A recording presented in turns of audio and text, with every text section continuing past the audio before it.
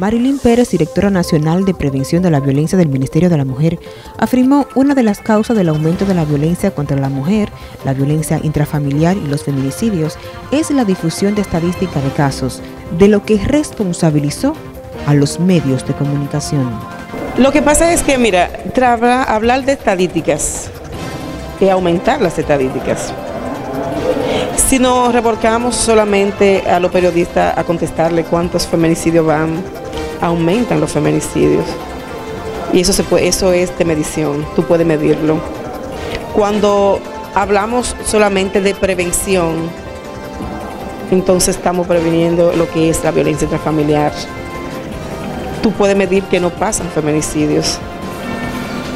Entonces el país, los medios de comunicaciones se han revolcado solamente a interesarle lo que son las estadísticas de cuántas mujeres han caído, de cuántos feminicidios van. Y para mí, hace un tiempo, ya eso no es noticia.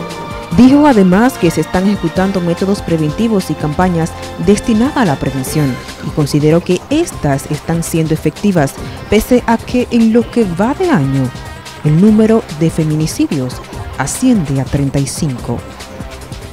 Joana Cordero, NTN, su noticiero regional.